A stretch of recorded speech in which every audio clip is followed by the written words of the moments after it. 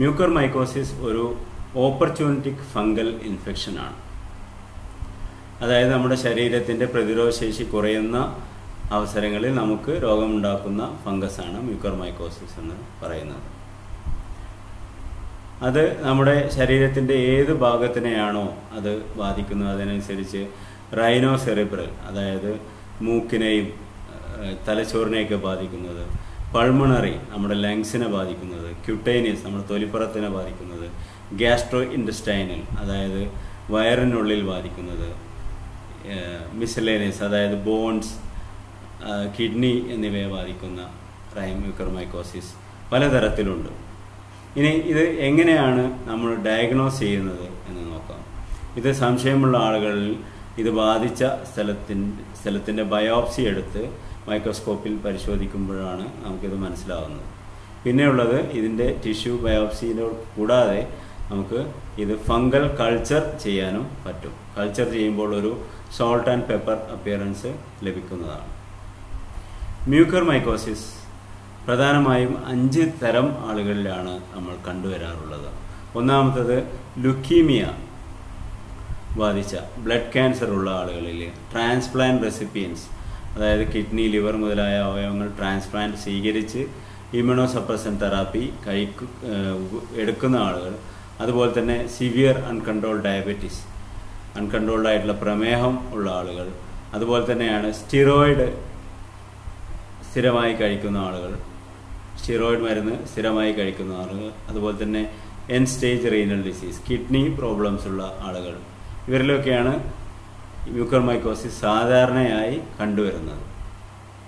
Amphotericin B എന്ന് പറയുന്ന ഒരു ഇഞ്ചക്ഷനാണ് ഇതിനെ ചികിത്സയ്ക്ക് ഉപയോഗിക്കുന്നത്. ഒരു ദിവസത്തെ ഇഞ്ചക്ഷന് തന്നെ പതിനായിരം രൂപയോളം വിലയുള്ള മരുന്നാണിത്. ഇത്ര വിലപിടിപ്പുള്ള ചികിത്സയാണെങ്കിലും വളരെ അപൂർവമായിട്ട് മാത്രമേ നമുക്ക് രോഗികളെ രക്ഷപ്പെടുത്താൻ സാധിക്കാറുള്ളൂ. കോവിഡ് നയന്റീൻ സിവിയർ ആയിട്ട് വരുന്ന ആളുകൾക്ക് നമ്മൾ ഉപയോഗിക്കുന്ന ഒരു ചികിത്സാ രീതിയാണ് സ്റ്റിറോയിഡ് തെറാപ്പി. ഏഴ് മുതൽ പത്തോ പതിനാലോ ദിവസം വരെ നമ്മൾ തുടർച്ചയായി സ്റ്റിറോയിഡ് ഇഞ്ചക്ഷൻസ് കൊടുക്കാറുണ്ട്. അങ്ങനെ വരുമ്പോൾ നമ്മുടെ പ്രതിരോധശേഷി കുറയുന്ന സമയത്ത് മ്യൂക്കർമൈക്കോസിസ് നമുക്ക് പിടിപെടാൻ സാധ്യത കൂടുതലാണ്. വേറെ ഒരു റിസ്ക് ഫാക്ടർ നമ്മുടെ ഓക്സിജൻ തെറാപ്പിയാണ്. നമ്മൾ ദിവസങ്ങളോളം ഓക്സിജൻ കൊടുക്കുമ്പോൾ നമ്മൾ ഓക്സിജൻ സിലിണ്ടറിൽ നിന്നും നമ്മളെ മൂക്കിലേക്ക് ഓക്സിജൻ കൊണ്ടുവരുന്ന പൈപ്പിനിടയിൽ ഒരു ഗ്ലാസ് ബോട്ടിലിൽ നമ്മൾ വെള്ളം നിറച്ച് ഈ ഓക്സിജൻ ഹ്യൂമിഡിഫൈ ചെയ്യുക എന്ന് പറയും. വെറ്റ് ഓക്സിജൻ നമുക്ക് കിട്ടാൻ വേണ്ടി വെള്ളം ഉപയോഗിക്കാറുണ്ട്. ഈ കോവിഡ് വാർഡുകൾ നിറഞ്ഞു കവിയുമ്പോൾ അതിൽ അതിലൊഴിക്കുന്ന വെള്ളം വൃത്തികെട്ട വെള്ളമാണെങ്കിൽ നമ്മൾ അതിൽ ശ്രദ്ധ ഡിസ്റ്റിൽഡ് വാട്ടർ ഉപയോഗിക്കണമെന്നാണ് പറയുക.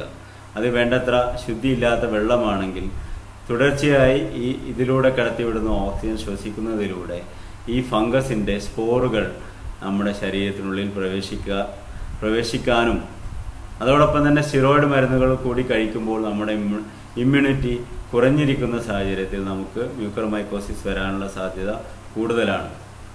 അതുകൊണ്ടാണ് കോവിഡ് നയന്റീനും മ്യൂക്കർമൈക്കോസിസും നമ്മൾ ഇപ്പോൾ വലിയ ചർച്ച ആയിക്കൊണ്ടിരിക്കുന്നത്.